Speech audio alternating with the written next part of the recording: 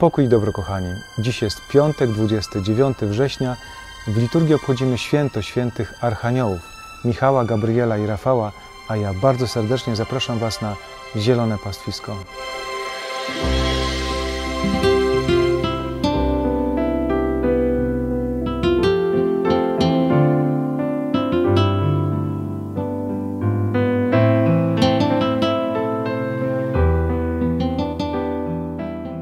Kochani, nie mam żadnych wątpliwości, że w tym świecie trwa nieustanna wojna, nieustanna walka pomiędzy dobrem a złem.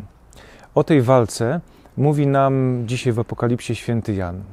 Po jednej stronie barykady jest wąż starodawny, jest diabeł, szatan, smok, demon, złe duchy, to takie określenie tych przeciwników. Natomiast po drugiej stronie barykady są aniołowie, archaniołowie, na których czele tego wojska niebieskiego stoi święty Michał Archanioł.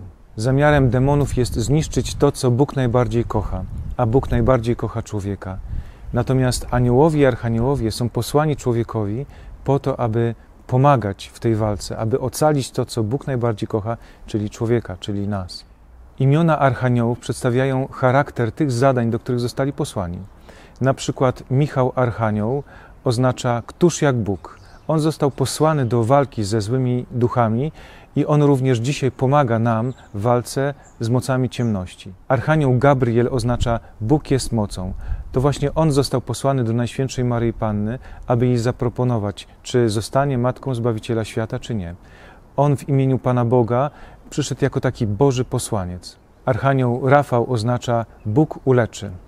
On opiekował się młodym Tobiaszem, on również opiekuje się nami wszystkimi, kiedy już zło gdzieś tam nas dosięgnie i kiedy czujemy się tacy zmasakrowani tym złem, to Bóg posyła Rafała, Archanioła, żeby nas uleczył, aby na tę ranę położył kompres swojej Bożej miłości. Święty Maksymilian Kolbe z mojego zakonu i nawet z mojej prowincji, kiedy szedł modlić się na różańcu, kiedy trzymał paciorki różańca, mówił, że to są kule i idzie teraz strzelać do szatana. Powiedział, że on się tego bardzo boi. Szatan jest jak zły pies na łańcuchu.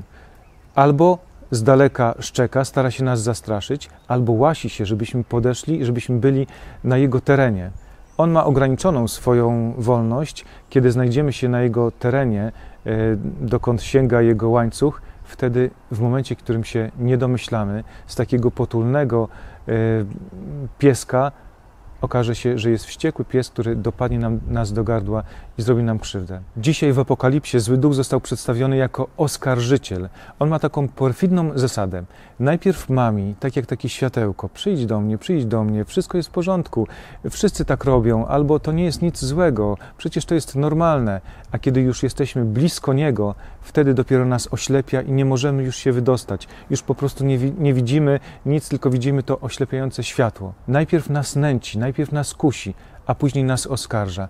Natomiast Pan Bóg chce nas usprawiedliwiać. Kochani, dzisiaj w Apokalipsie też czytamy, że Archanioł i wszyscy aniołowie zwyciężyli nie dzięki swojej mocy, ale dzięki mocy Bożej, a właściwie to dokładnie jest to napisane, że dzięki krwi baranka. To jest krew, która nas usprawiedliwia.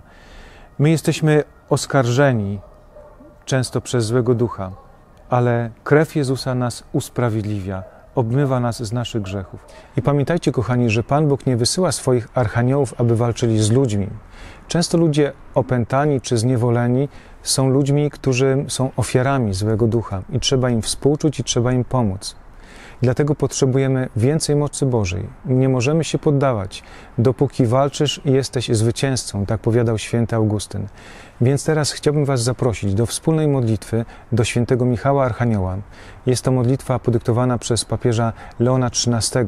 Ta modlitwa jest również egzorcyzmem. Święty Michale Archaniele, wspomagaj nas w walce przeciw niegodziwości i zasadzką złego ducha, bądź nam obroną. Oby go Bóg pogromić raczył, pokornie o to prosimy, a Ty, wodzu niebieskich zastępów, szatana i inne złe duchy, które na zgubę dusz ludzkich po tym świecie krążą, mocą Bożą strąć do piekła. Amen. Pan z Wami. Niech Was błogosławi Bóg Wszechmogący, Ojciec i Syn i Duch Święty. Amen. Wszystkiego dobrego, kochani. Szczęść Boże, papa. Do jutra.